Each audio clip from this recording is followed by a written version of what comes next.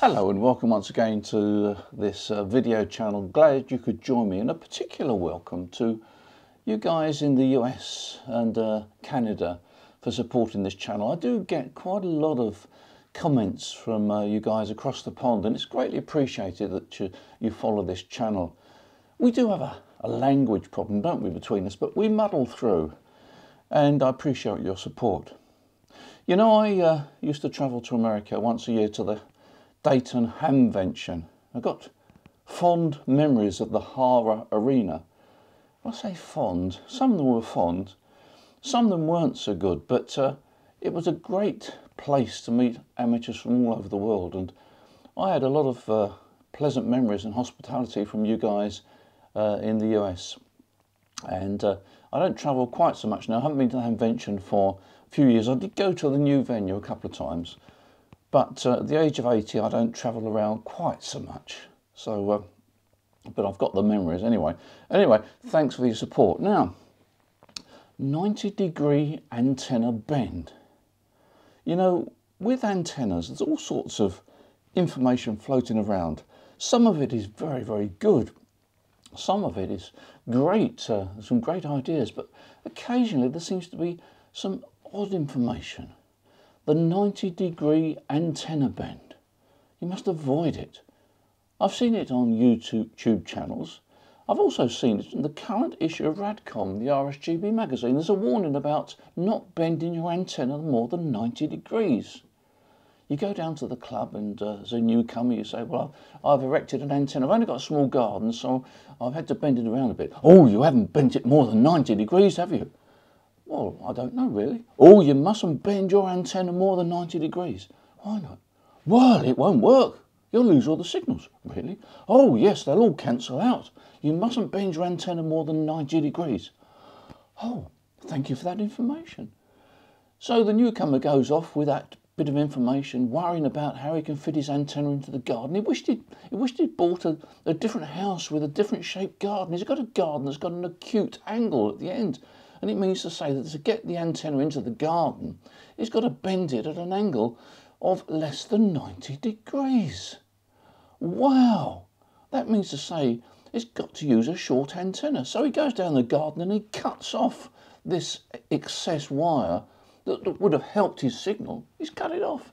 And he's a bit miserable now because he's not getting such good results. But at least he hasn't got that 90 degree bend in his antenna.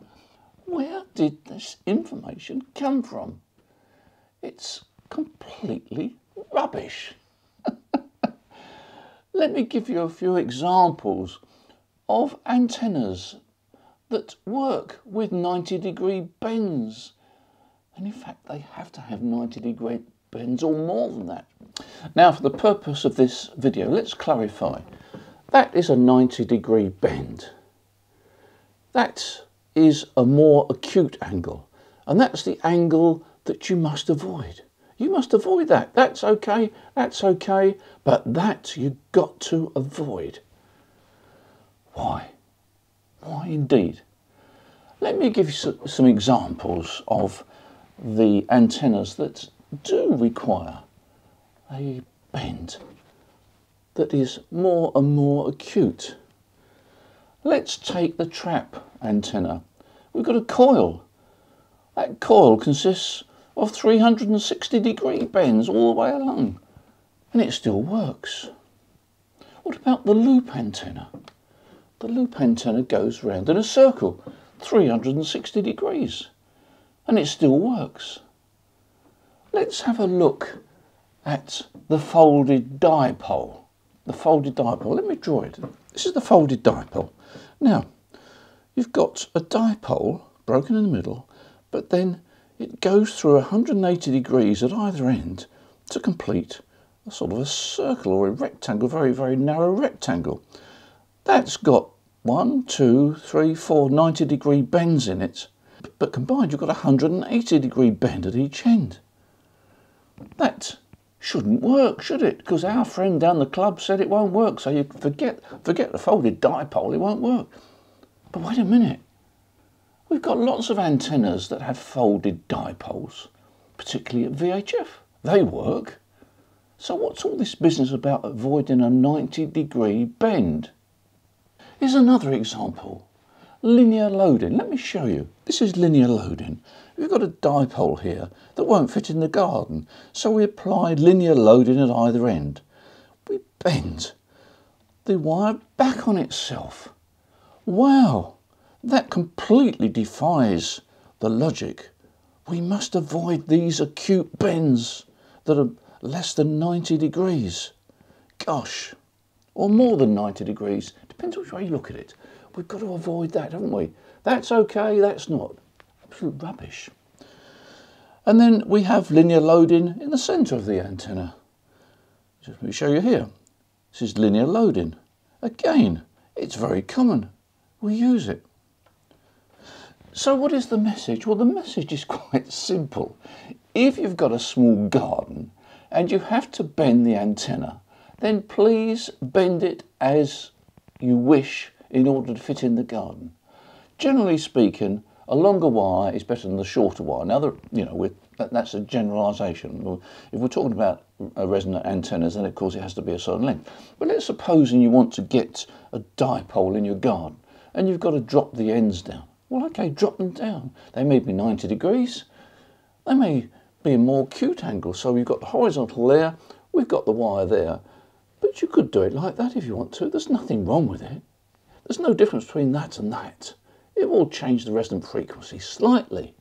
Now, I grant you that if you bend an antenna, you're going to have a polar diagram that is not the same as a conventional aerial in a straight line. But it doesn't actually matter how much you bend it. If you're going for a resonant antenna, then you simply bend it then adjust the length to suit the band that you're operating on. This business about avoiding these acute angles that are more acute than 90 degrees is absolutely wrong. Where it came from, I do not know. There's so many examples where the antenna design requires an acute angle bend. So the message is if you're told as a newcomer to avoid these acute bends, it doesn't matter. It works. So, back down the club again. Um, you know that you told me that I shouldn't have a more acute angle than 90 degrees? Yes, I do. Well, I've actually tried it, and it, it really works. Why, it shouldn't do. Well, I've been on a YouTube channel, and they've explained that that's, well, without being rude, is absolute rubbish. Rubbish? Oh, dear. You don't want to believe everything you see on the YouTube. Here we are.